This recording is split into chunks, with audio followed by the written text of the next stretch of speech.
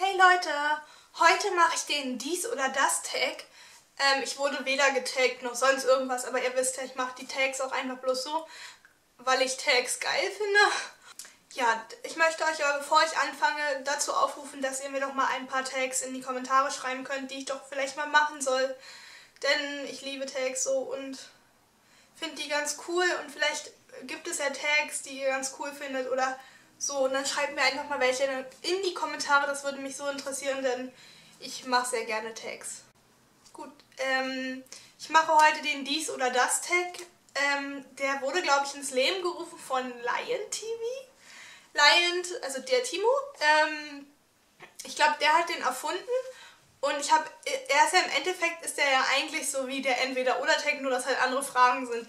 Den Entweder-Oder-Tag habe ich auch schon mal gemacht. Den findet ihr in der Infobox und den Kanal von Timo findet ihr auch in der Infobox, falls ihr ihn noch nicht kennen solltet, was ich bezweifle. Ich fange einfach an. Laptop oder Computer? Also ich habe einen Computer, ähm, aber wenn ich mich jetzt entscheiden müsste, ich weiß es nicht, es ist schwer, würde ich sagen beides. Zu Hause, wo man halt wohnt, bei sich zu Hause ein Computer, weil ich finde, Computer ist an sich, du kannst mehr machen. Und ähm, ansonsten würde ich halt sagen Laptop, weil Laptop halt zum Reisen sehr praktisch wäre, glaube ich. Und an sich dann auch praktischer, also wenn man viel unterwegs ist. Deswegen würde ich sagen beides, aber ich tendiere, glaube ich, mehr zu Computer, weil ich, glaube ich, mein Leben lang eigentlich nur einen Computer hatte, obwohl ich mir manchmal echt wünsche, irgendwas für unterwegs zu haben. McDonald's oder Burger King? Ich glaube McDonald's. Also ich gehe auch gerne bei Burger King essen, so ist es nicht. Aber wenn ich die Auswahl habe, gehe ich doch lieber zu McDonald's. Da gibt es mehr Sachen, die ich lieber esse als bei Burger King, glaube ich. Ja, deshalb McDonald's. Deo-Rolle oder Deo-Spray? Ich persönlich mag Deo-Spray lieber. Ähm, habe auch mal gehört, es soll hygienischer sein, weiß ich nicht. Ich hatte früher mal, ich hatte früher beides. Und ähm, ich glaube, beziehungsweise ganz am Anfang hatte ich immer nur eine Deo-Rolle, als ich noch ganz jung war, weil ich persönlich das Spray immer total eklig fand. Und ähm, mittlerweile muss ich aber sagen, also ich persönlich benutze nur noch Deo-Spray, Deo-Rolle habe ich gar keinen mehr. Ich benutze wirklich nur noch Deo-Spray. Äpfel oder Erdbeeren? Erdbeeren. Erdbeeren sind, sind mein Lieblingsobst. Also, beziehungsweise viele sagen, es zählt ja nicht zum Obst, es zählt zu den Nüssen, aber ich hoffe, ihr wisst, was ich meine. Also, ich liebe Erdbeeren. Ähm, Äpfel esse ich auch, so ist es nicht, aber wenn ich die außer habe, nehme ich Erdbeeren. Katzen oder Hunde? Ich mag beides sehr gerne, aber wenn ich jetzt im nächsten Leben ein Tier sein könnte, würde ich wahrscheinlich ein Hund sein. Und ich persönlich habe auch einen Hund. Ähm, ich mag aber beides. Ich bevorzuge keine Katze oder keinen Hund.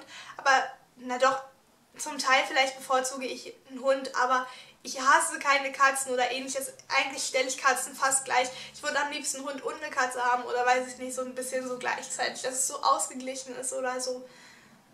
Also ich mag beides, habe aber persönlich nur einen Hund. Ich hoffe, das ist so okay und ihr versteht, was ich meine. Blond oder braun? Also ich bin blond, beziehungsweise es ist gefärbt. Eigentlich bin ich köterblond, aber ist ja blond. Nur ein hässliches Blond. Und ähm, ich mag aber sowohl blond als auch braun. Also ich habe auch schon oft überlegt, mir die Haare mal braun zu färben. Ich hatte mal, als ich meine Perücke auf hatte, äh, so hatte ich immer Bilder gemacht und äh, hochgeladen. Und die sah aber auf Bildern immer schon fast schwarz aus, obwohl sie eigentlich dunkelbraun ist. Ich, wenn, dann würde ich mir die Haare aber auch nicht dunkelbraun färben, sondern eher so schokobraun oder auf jeden Fall ein helleres Braun. Und auf jeden Fall haben dann viele gesagt, dass mir die dunklen Haare viel ziemlich gut stehen. Einige haben sogar gesagt, dass mir die dunkleren Haare besser stehen als das Blond. Ähm, ich hatte die Perücke nur mal zum Austesten genutzt gehabt, weil ich das einfach mal gucken wollte, wie das dann so aussehen würde. Es war ungewohnt, aber es war irgendwie cool. Ähm, aber ich weiß nicht, ich kann mich so schwer von meinem Blond trennen. Natürlich würdet ihr jetzt sagen, ja, du kannst es ja dann, kannst ja erstmal eine Tönung holen, aber ich weiß nicht, ob eine Tönung richtig gut ist, wenn ich diese, wenn ich meine Haare, wenn meine Haare blond sind und ich eine, ähm, eine braune Tönung reinmache, ob da nicht irgendwie dann irgendwas falsch ist oder dass es dann so fleckig wird oder total scheiße oder so. Davor habe ich halt Angst, ähm, weil ich noch nie meine Haare getönt habe, bisher immer nur gefärbt. Und die andere Sache ist halt auch die, ähm, dass ich, wenn ich richtig färbe, dass ich einfach Angst habe, dass ich so gern unbedingt wieder zu meinem Blond zurück möchte. Und dann würde ich sie wieder färben und wieder vor allen Dingen so hell kriegen, das ist wahrscheinlich auch übelst anstrengend. Vor allen Dingen, wenn ich meine Haare jetzt von, von braun dann zu blond färben würde, dann müsste ich auf jeden Fall zum Friseur gehen. Das könnte ich dann nicht selber machen. Und das wäre, glaube ich, oh mein Gott, ich glaube, ich würde meine Haare noch mehr strapazieren, als ich es sonst schon tue. Und sie werden mega kaputt an sein. Deswegen, ich weiß noch nicht. Ich will auf jeden Fall irgendwann mal meine Haare braun färben, das ist es. Aber ich weiß echt noch nicht wann, weil ich kann mich bis jetzt einfach noch nicht von meinen blonden Haaren trennen. Und deswegen sage ich weder blond noch brünett, denn ich habe auch viele brünette Freunde und das hat also gar nichts zu sagen. Ich mag beide Haarfarben sehr gerne, auch wenn ich blond bin. Süßes Essen oder herzhaftes Essen? Ähm, eigentlich würde ich immer sagen, ich bin eher so der herzhafte Mensch. Äh, ich liebe einfach irgendwie herzhaftes Essen. Viele essen morgens was Süßes. Ich liebe eigentlich was Herzhaftes zu essen. Rührei mit ähm, Speck oder so, also mit Bacon oder was weiß ich. Also ich bin so voll der herzhafte Typ eigentlich. Obwohl ich sagen muss, dass äh, ich in letzter Zeit doch ziemlich süß auch geworden bin. Was heißt süß? Ich würde zum Beispiel auch so gerne einfach so ein Croissant mit Marmelade morgens essen oder Pancakes so mit Ahornsirup. Das ist auch so was richtig Geiles. Aber bei mir ist es halt, weiß ich nicht, ich esse zum Beispiel lieber anstatt ein Stück Schokolade oder anstatt also ich bevorzuge, wenn ich so Gummibärchen, Chips und Schokolade habe, glaube ich, bevorzuge ich eh meistens Chips. Chips sind halt das Herzhafte. Und wenn ich äh, ähm, Gummibärchen und Schokolade habe, dann bevorzuge ich, glaube ich, meistens Schokolade. Nein, gar nicht. Ich glaube, ich bevorzuge meistens Gummibärchen. Und ähm, es ist so, dass ich halt auch, weiß ich nicht, lieber so Mini-Salamis oder so, kennt ihr sowas? Ich finde die so geil und ich liebe sowas so gerne oder solche Chili-Salami-Peitschen oder so und ich esse das so gerne und das ist halt sehr herzhaft und anstatt mal zu einem Stück Schokolade zu greifen, würde ich lieber sowas essen. Aber die Sache ist, die meistens denke ich mir so, wenn ich sowas, so wenn ich so herzhaft gegessen habe oder so nach dem Mittagessen, denke ich mir so, oh, was Süßes passt noch rein. Also nach was Herzhaftem soll immer was Süßes, weiß ich nicht, ein Stück Schokolade, ein Pudding oder so. Aber manchmal ist es auch so, wenn ich so Süßes gegessen habe, dann denke ich so, jetzt brauche ich was Herzhaftes. Also weiß ich nicht, Entscheidung fällt mir da, glaube ich, zu schwer. Lego oder Playmobil? Ähm, ich hatte früher, glaube ich, mehr Lego. Playmobil hatte ich, glaube ich, gar nicht. Obwohl ich es mir eigentlich im Kopf immer ganz gerne gewünscht habe. Ich weiß nicht, ob ich jemand von meinen Eltern habe ich es mir auch nie gewünscht oder so. Ich habe es immer nur in meinem Kopf mir gewünscht, weil eine Freundin hatte Playmobil so richtig mit im Haus und das war richtig cool und ich dachte so, boah, geil. Aber ich hatte, glaube ich, immer nur Lego. Ja. Nike oder Adidas? Ich mag beides sehr gerne, sowohl Nike als auch Adidas. Also ich bin da jetzt nicht so lieber Nike oder lieber Adidas, denn ich mag beides. Es gibt äh, sowohl bei Nike als auch bei Adidas finde ich schöne Schuhe, aber es gibt auch sowohl bei Nike als auch bei Adidas Schuhe, die ich nicht so schön finde. Also iPhone oder Samsung Galaxy? Also ich habe ein iPhone und das seht ihr jetzt gerade gar nicht, weil ich habe ein Ape Crime. Moment, ich mache kurz meine Hülle ab. Also ich habe ein iPhone vorher, bevor ich mein iPhone hatte, hatte ich ein Samsung Galaxy. Und ich muss sagen, ich bin mit Samsung nicht so zufrieden. Ich mag iPhone viel lieber, deshalb iPhone. Party oder chillen? Beides. Also ich mag es sowohl Party zu machen, als auch mal zu chillen. Aber ähm, ich muss sagen, ich mag Partys am liebsten so, so Hauspartys oder generell, wenn man so Party macht, weiß ich nicht, Dorfpartys oder äh, weiß ich nicht, wenn man zum Geburtstag eingeladen ist und da Party macht. Sowas mag ich viel lieber, als so in irgendeinen Club zu gehen und da Party zu machen, muss ich sagen. Weiß ich nicht, da, da würde ich dann, glaube ich, ich meine, ich würde vielleicht in einen Club gehen und Party machen und ich war auch schon mal in einem Club und so, aber äh, in der Disco, wie auch immer man es nennen mag und es war auch cool und so, aber ich weiß nicht, bevorzuge meistens eher was anderes. Also bevorzuge meistens eher Hauspartys, Geburtstagsfeiern, wo man richtig Party macht oder Dorfpartys hier bei mir auf dem Dorf. Ähm, das finde ich schon irgendwie viel cooler, vor allen Dingen so mit engen, im engen Kreis mit Leuten, die man kennt, als mit Leuten, ich nicht, die man halt nicht so kennt. Und chillen würde ich auch immer bevorzugen, weil sowohl chillen kann auch richtig geil sein mit Freunden, einfach nur chillen. Und deshalb ist das echt schwer. Aber ich glaube, ich bin eher der chillige Typ und deshalb chillen. Subway oder KFC? Hm, das ist schwer. Ich mag sehr gerne Hähnchenfleisch. Deshalb könnte man sagen KFC, aber bei KFC und sowohl Subway als auch KFC gehe ich nicht so oft, aber ich glaube Subway gehe ich, wenn dann noch öfters als KFC und würde deswegen aber auch, glaube Subway nehmen, weil bei Subway kann ich mir halt alles zusammenstellen. Bei KFC hast du halt wirklich nur dieses Hähnchenzeug und ich weiß nicht. Ich esse es, aber ich glaube, wenn, dann würde ich Subway bevorzugen. Links- oder Rechtshänder? Ich bin Rechtshänder. Wäre aber manchmal gerne Linkshänder. Nicht fragen, warum, weiß ich nicht. Habe ich so im Kopf. Ich wäre gerne Linkshänder. Frag mich nicht, warum. Das hab, also schon seitdem ich klein bin, habe ich das im Kopf und sage mir, ich wäre gerne Linkshänder. Keine Ahnung warum. Cola oder Fanta? Ich mag beides sehr gerne, aber ich nehme meistens Cola. Ja, deshalb würde ich sagen, bevorzuge ich Cola. Horror oder Liebesfilme? Horror. Also Liebesfilme können auch ganz cool sein. Was heißt cool? Können auch ganz schön sein. Aber wenn, dann bevorzuge ich, glaube ich, lieber Horrorfilme. Und ja, gucke sie sehr gerne, vor allem mit Freunden. Alleine ist dann manchmal so, gucke ich auch alleine, aber das ist immer so nicht so geil. Da gucke ich dann lieber Liebesfilme alleine.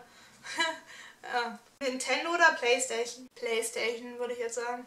Also ich habe eine Playstation, ich habe eine Playstation 2 und ich habe einen Nintendo DS. Aber mit dem spiele ich gar nicht mehr und mit der Playstation, okay, die staubt mehr oder weniger bei mir auch ein. Aber ich will die auch nicht verkaufen oder ähnliches, weil ich habe halt noch so mega die Singstar-Spiele.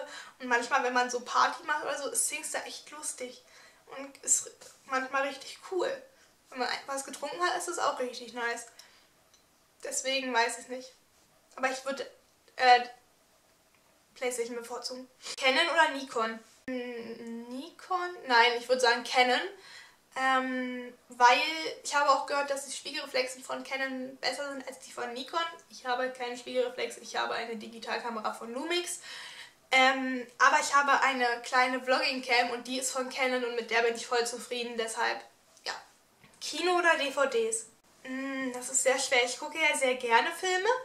Ähm, gehe auch gerne ins Kino, gehe aber nicht so oft ins Kino, weil ich leider ähm, so, weiß ich nicht, ich denke mir immer so, ja, Kino kostet so viel Geld, Kino ist so teuer. Und ähm, obwohl es jedes Mal total schön ist, wenn man im Kino ist, dieses Feeling mit Popcorn, Nachos, Softgetränk oder weiß ich nicht, Süßigkeiten oder was auch immer man sich bestellt. Und das ist so geil.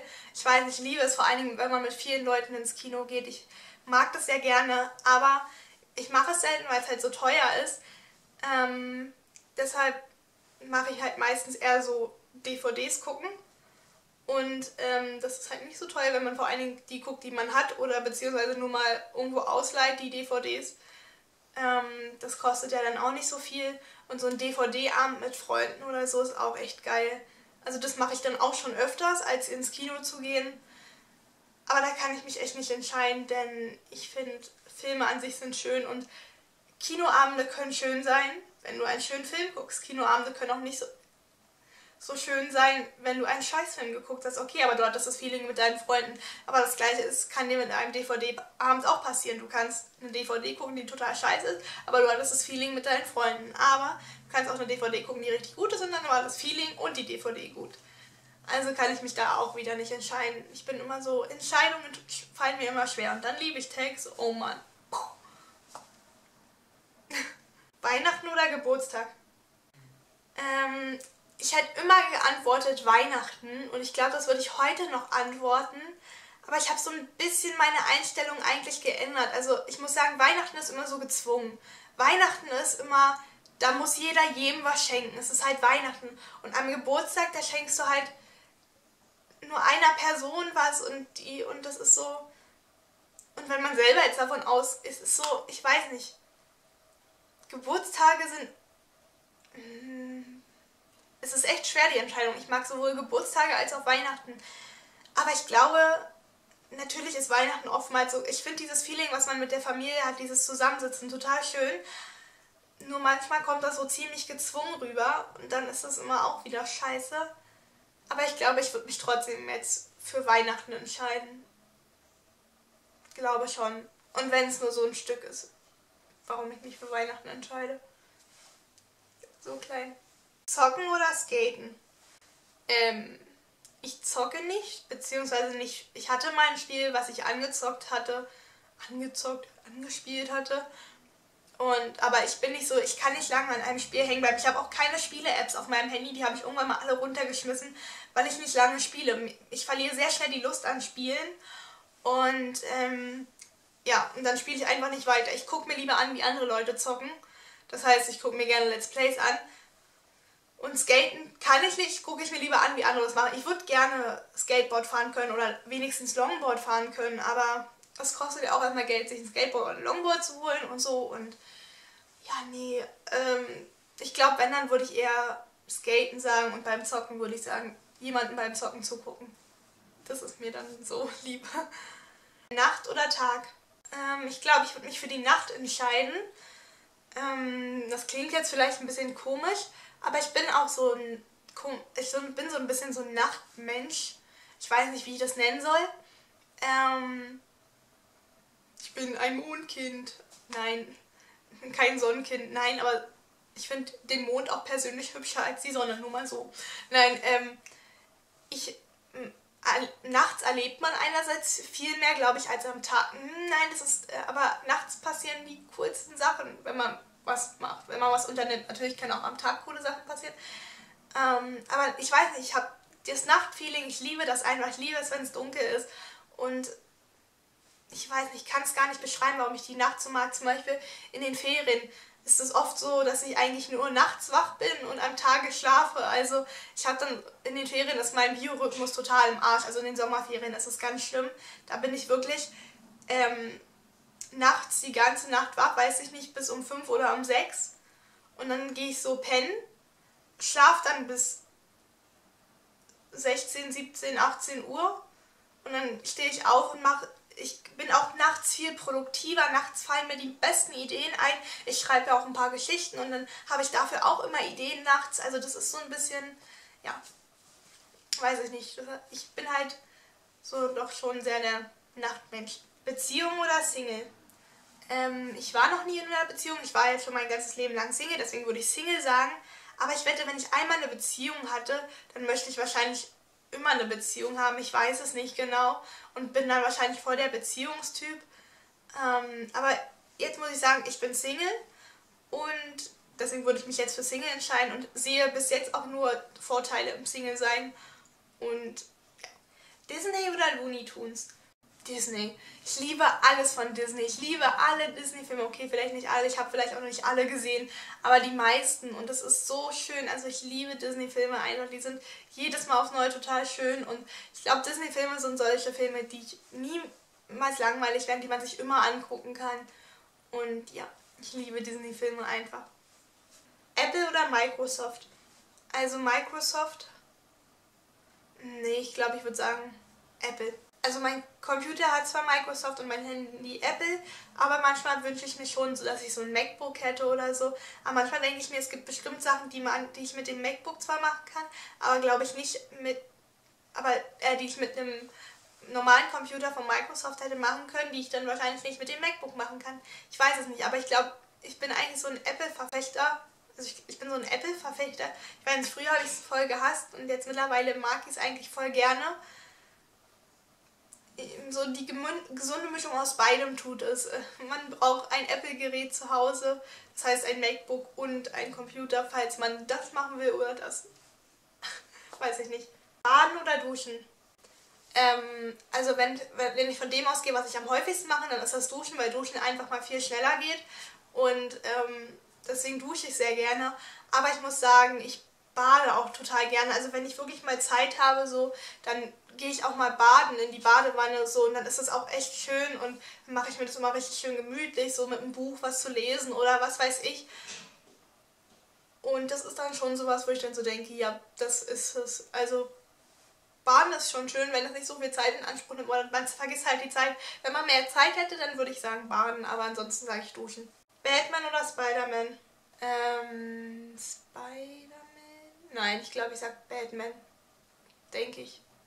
Dunkin' Donuts oder Starbucks? Oh Gott, weiß ich nicht. Also bei Starbucks trinke ich gerne Frappuccino und bei Dunkin' Donuts isst man gerne Donuts. Deswegen weiß ich es nicht genau. Aber wenn, man, wenn ich davon ausgehe, wo ich schon am häufigsten war, dann war das Starbucks. Und bei Dunkin' Donuts war ich bisher noch nicht oft. Also deshalb würde ich da dann eher sagen Starbucks. Aber ansonsten könnte ich mich so nicht entscheiden. Oder man holt sich ein Frappuccino bei Starbucks und einen Donut bei Dunkin' Donuts perfekte Mischung. Gestylte Haare oder Mütze? Mütze, wenn dann. Nein, ähm, weiß ich nicht. Wenn ich ein Bad Hair Day habe, dann eine Mütze. Aber ansonsten meine Haare stylen tue ich die ja auch nicht wirklich. Die sind eigentlich voll Standard. Okay, heute habe ich mal Haarspray in meinem Pony drin, weil der nicht so geil war. Und ich weiß nicht, heute habe ich die auch mal geglättet und ähm, oder wenn ich mir Locken reinmache, dann so gehen wir davon aus. Aber ansonsten, vor allen Dingen jetzt auch in der Winterzeit, sage ich Mütze. Aber ansonsten trage ich eigentlich nicht so oft, eine Mütze, dann meistens so fertig, ob das gestylt ist oder nicht. Manga oder Comics? Keine Ahnung. Ich habe noch nie ein ganzes Manga-Buch gelesen, noch habe ich einen ganzen Comic gelesen. Weiß ich nicht. YouTube oder Fernsehen? YouTube. Also Fernsehen schaue ich echt nur noch selten. Und also ich muss ehrlich sagen, es ist eigentlich fast ganz klar, glasklar YouTube, ähm, weil Fernsehen schaue ich so wenig. Wenn ich ein paar Filme gucken will, gucke ich die online. Und weiß nicht, doch, wenn, wenn ab und zu kommen Serien, ähm, die dann halt wirklich mitten dann jetzt laufen, wo ich dann nicht im Internet gucke. Und da schaue ich dann vielleicht mal Fernsehen. Aber ansonsten ist das echt selten geworden. Ich, meistens ist es eigentlich YouTube und ähm, würde deshalb YouTube bevorzugen. Weil Fernsehen ist bei mir echt selten geworden. Und wenn, dann schiebe ich mir meine DVD rein oder so oder gucke, wie gesagt, Online-Filme. Aber ansonsten YouTube. Ja, und das war der Tag. Ich hoffe, er hat euch gefallen. Und ja, wie gesagt, schreibt mir doch mal ähm, ein paar Tags in die Kommentare. Wenn euch das Video jetzt gefallen hat, würde ich mich über einen Daumen nach oben freuen. Und ähm, ja, ich tagge euch alle. Ganz einfach. Macht doch alle mal diesen Tag. Ähm, ich, das ist nie bei Tags. Ich tagge niemanden, ich tagge alle. Und ähm, ja, deshalb hoffe ich, dass euch das Video gefallen hat. Ähm, wie gesagt, würde mich über eine positive Bewertung freuen. Würde mich freuen, wenn ihr mir einige Tags in die Kommentare schreiben könntet, die ich doch mal machen sollte. Ähm, wo ihr euch darüber freuen würdet. Wenn ihr mich noch nicht abonniert habt, dann würde ich mich natürlich auch über ein Abo freuen. Und hoffe, dass wir uns bei meinem nächsten Video wiedersehen. Ciao!